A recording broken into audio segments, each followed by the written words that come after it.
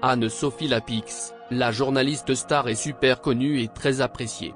Dans sa vie professionnelle comme dans sa vie privée, elle attire tous les regards. Lors de la nouvelle émission politique de France Télévisions, la journaliste de France 2 a été propulsée sous les feux des projecteurs. Il y a quelques mois, elle avait fait parler d'elle après la révélation des faits suivants. On vous dévoile tous les détails qui vont suivre. Anne-Sophie Lapix est une personnalité connue en France pour avoir animé France 2. Auparavant, elle remplaçait Claire Chazal, animant le 20h de France 2 du vendredi au dimanche ainsi que le 13h. De plus, elle était l'animatrice de l'émission 7 à 8, le dimanche soir, avec Harry Roselmack qui supplantait le présentateur du journal télévisé de TF1 Patrick Poivre d'Arvor.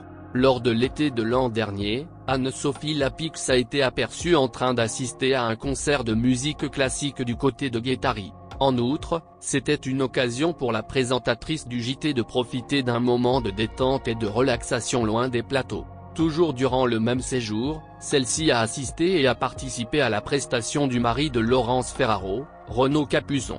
Elle a d'ailleurs profité de cet instant pour évoquer sa relation avec une star de football. Il s'agit de Bichente Lizarazu, amie dans la vraie vie, Bichente Lizarazu et Anne-Sophie Lapix, n'hésitent pas à se lancer régulièrement des défis sur les réseaux sociaux. Après une certaine récession, l'ancien footballeur a défié la journaliste sur Instagram.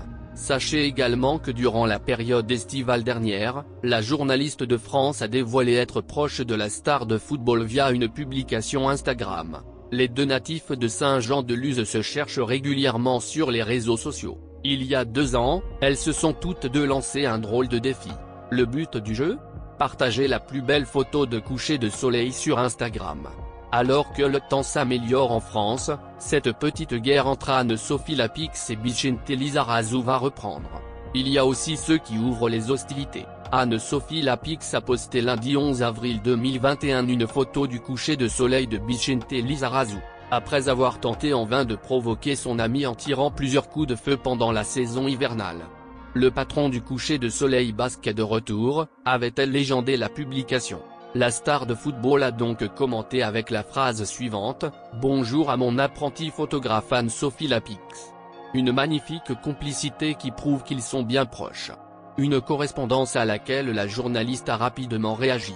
Attendez un peu, a-t-elle écrit dans la section des commentaires en laissant entendre que la guerre était sur le point de recommencer. En outre, aucune nouvelle photo n'a été partagée par la journaliste pour l'instant. Mais qui sait, Anne-Sophie Lapix a peut-être eu le temps de prendre le cliché parfait.